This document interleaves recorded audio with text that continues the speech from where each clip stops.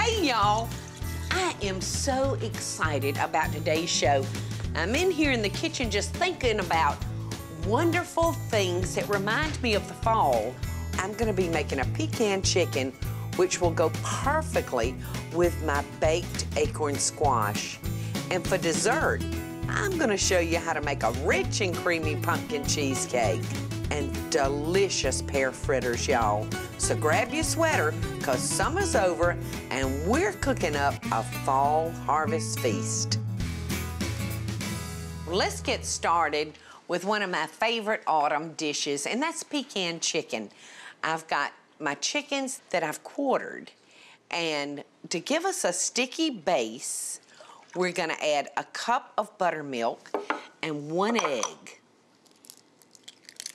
Now you'll wanna make sure that you've washed your chicken very good. I never cook a chicken that I don't wash. You wanna make sure your chicken is real clean. All right, so we've mixed together our egg and our buttermilk because the chickens are going swimming before I put them in their coats. Now let me show you what I'm gonna coat them with. I'm gonna eyeball about a cup, about a cup of flour, and I've got a cup of pecans that I have just almost pulverized. And I just did those in a food processor. It would take a long time to take a knife and mince them that fine, so pull out your blender or your food processor for that. Now I'm gonna add a fourth of a cup of sesame seeds.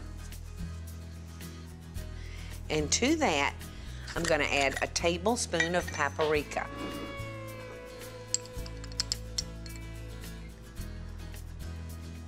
That's gonna help our chicken get nice and brown. All right, and I'm gonna add about a teaspoon of salt. Now we're just gonna mix this all together. And now I'm just gonna grind up some fresh black pepper in there. I was born and raised in Albany, Georgia, which we consider it to be the pecan capital of the world. And there were pecan trees everywhere. And uh, the first house that my husband and I bought had pecan trees in the yard. So I'd get out there and I'd pick up those pecans and I'd take them to the pecan company and sell those pecans. And that's what we would use to go to the fair because I felt like otherwise, you know, I, I just didn't have the money for something so frivolous as a fair. But it was something that I looked so forward to. All right. So I've got a dish over here and I've gotten some chicken already started and I put a stick of melted butter in the bottom of that pan. So let's get the rest of our chicken going and you can see how I just quartered the chicken. Okay, so in our buttermilk and egg mixture, and like I said, this is gonna act like a glue for our nice coating that we're gonna put on it. And you know, y'all, I would sell every one of those stinking nuts, but I'd save out enough to make this dish or make a pecan pie. So there we go, just gonna run it through. So we got our chicken nice and coated. And remember, I told you that I had melted a stick of butter. So I'm just gonna run that piece of chicken around in that butter. All right, here we go with the next piece.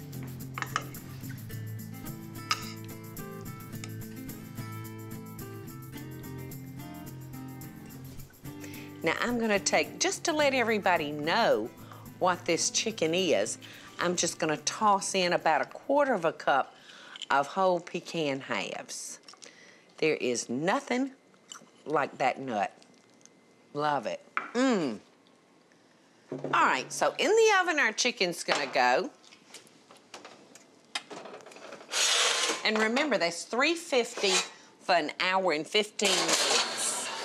So now while our chicken's cooking, I wanna prepare a vegetable that, gosh, brings back thoughts of my mother and uh, her kitchen in the fall, and that's acorn squash.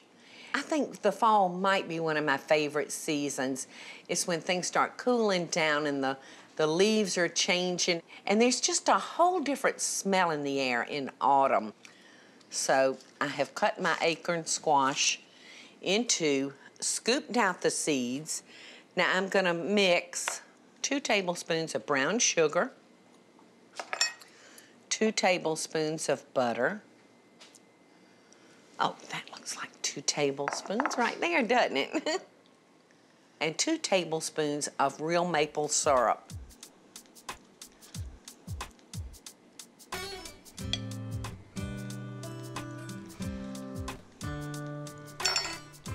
And we're just gonna mix those together.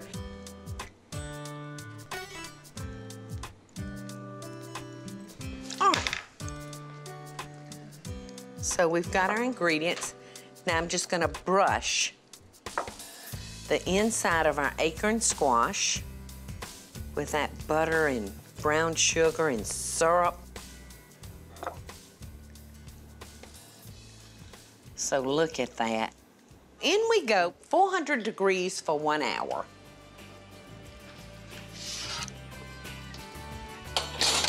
All right, there we go. And here's just two words that you'll love hearing every fall. Maybe it's three words. Pumpkin cheesecake.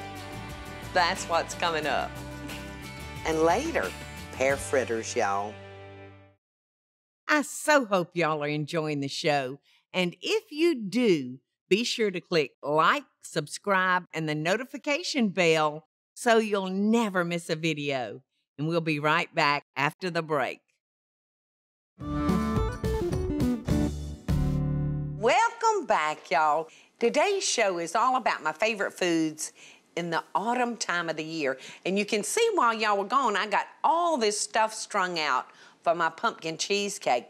But before we get started on that, we got something in the oven that's smelling awfully good. So why don't we pull that out and just see what our finished dishes look like. You know, we've got our pecan chicken in one oven. Oh my goodness, it's so heavy. Look at that. In our other oven, we've got our acorn squash that I bathed with butter and maple syrup and brown sugar. Ooh, it's a hot oven. And look at those. They're just a sizzling. I think I'm gonna have to get the spatula. All right. Do you like white meat or dark meat? Dark meat, so do I. Look at that. Doesn't that look like a fabulous meal that you'd want to serve in the fall time of the year? Look at that squash, y'all, with that brown sugar. Oh. Mmm. It's so good. And let's look at our chicken.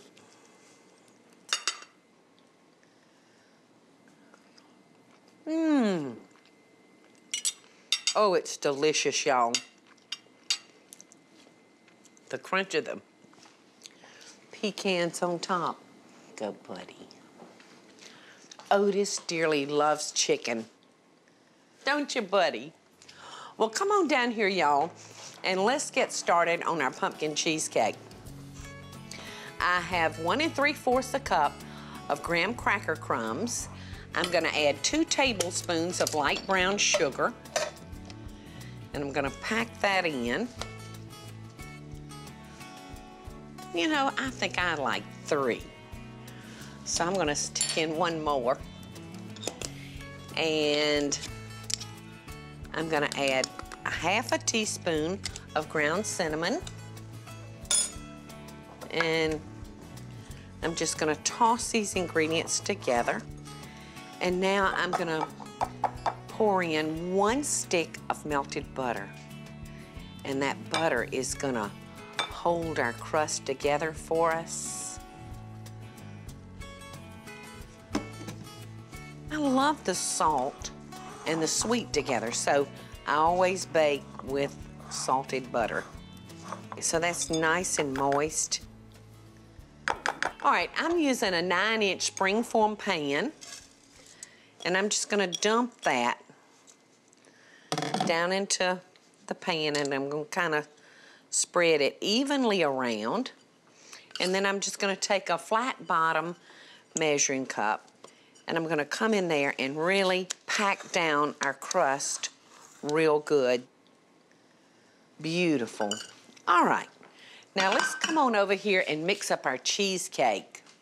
You know, cheesecake is probably one of the easiest desserts that you can make. Now I'm gonna start with three eight ounce packages of cream cheese that I've let come to room temperature and I'm gonna beat these ingredients together.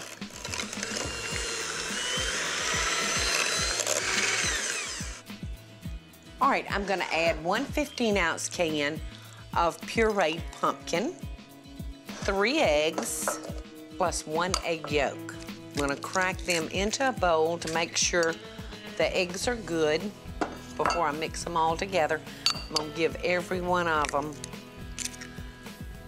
a quick look over.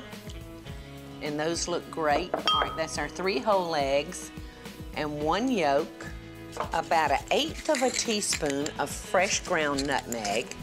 I'm gonna add a half a teaspoon of cinnamon, an eighth of a teaspoon of ground cloves. I'm gonna toss in a fourth of a cup of sour cream. I'm gonna add one and a half cups of sugar.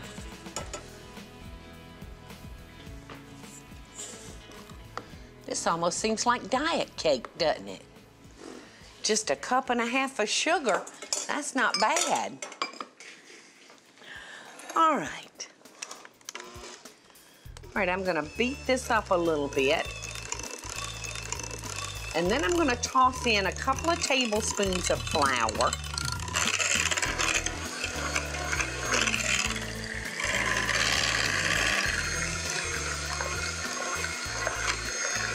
And the last thing I'm gonna add is like a teaspoon of vanilla flavoring.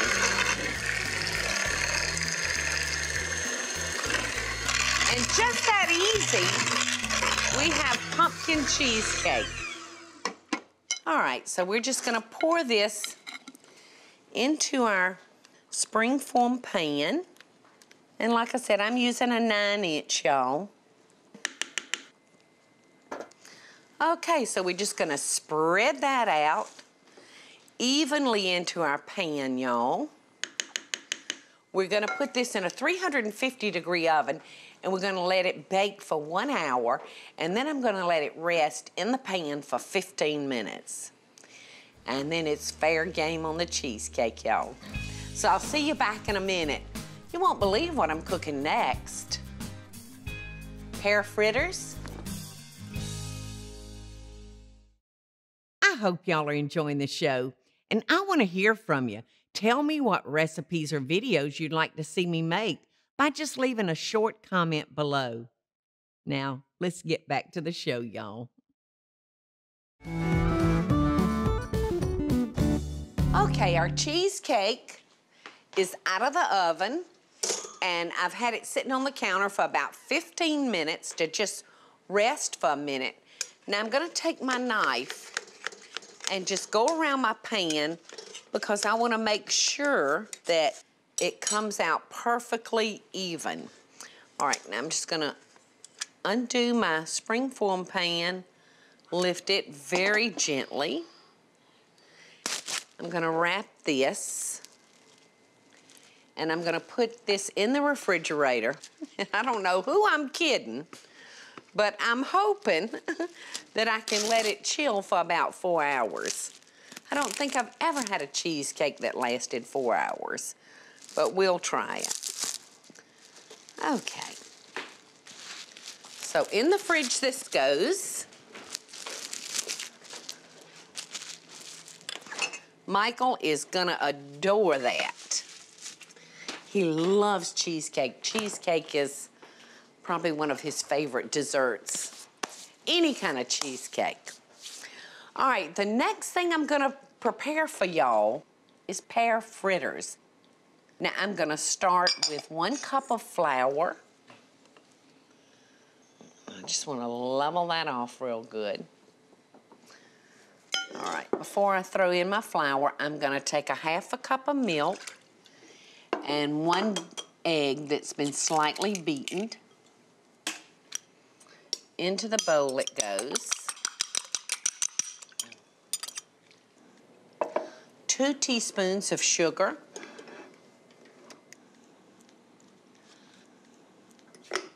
One teaspoon of ground cinnamon.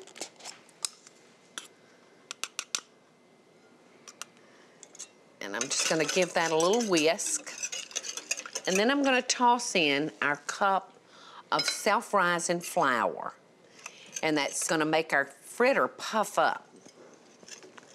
Ooh, that cinnamon is smelling so good.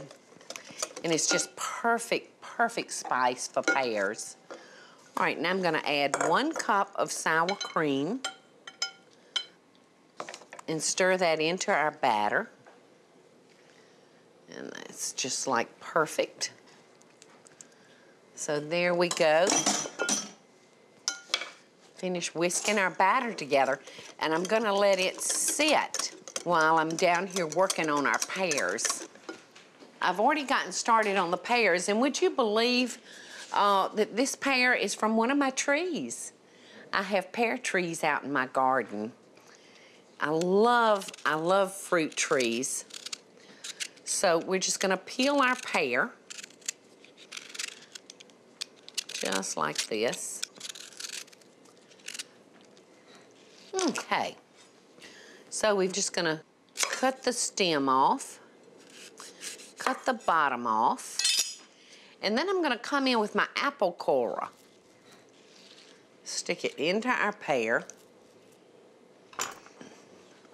Now I'm just gonna cut my pear rings, just like that.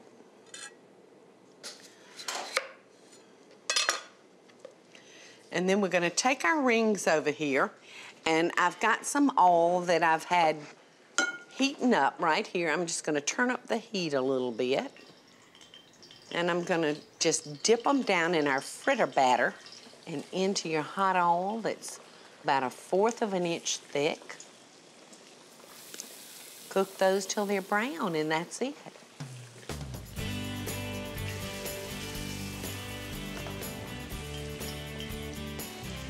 All right, so y'all don't go too far because when we come back, we've got something waiting in our refrigerator, just waiting for us to wrap our lips around. You remember the cheesecake, don't you? And then we're gonna taste fritters. So I'll meet y'all back. I so hope y'all are enjoying the show. And if you do, be sure to click like, subscribe, and the notification bell so you'll never miss a video. And we'll be right back after the break. Hey, y'all, that's just perfect timing. Y'all are back, and I'm done frying up our fritters. I've just got the last three ready to come out of the pan. You can serve them plain, just like this. I've got something else in mind for my fritter. I've got some vanilla ice cream. I'm just gonna put a scoop right there in the center of my fritter. I'm gonna put a little cinnamon sugar, a little powdered sugar, and then I'm just gonna drizzle a little bit of that maple syrup over the top. Looks pretty good, doesn't it? And you know, I always tell you to eat your vegetables. So we're gonna come down here, we're gonna get us a little piece of fresh mint, and we're gonna tuck right in there. And let's move on down here, because we've got something else waiting for us here. And look at our cheesecake, y'all. This cheesecake turned out absolutely perfect. And it's so rich, it's only gonna take just a wee little bit. and a wee little bit of whipped cream, more vegetables, and a little dust of powdered sugar. We have got two fabulous desserts that we have harvested during this fabulous fall of the year. I can't eat a pear fritter without thinking about my grandmother Paul. Mmm.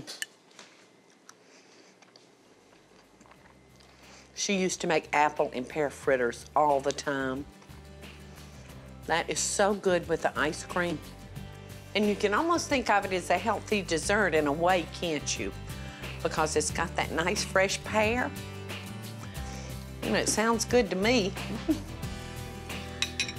and now let's go in for our pumpkin cheesecake.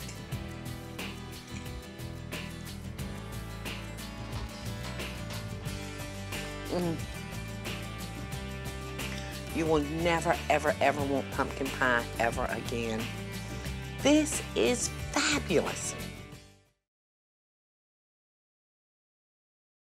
Hey, y'all, it's Paula Deen. Now, if y'all enjoyed this week's full episode Friday, be sure to like it and click the subscribe button as well as the notification bell to be alerted when I post a video. Love and best dishes, friends.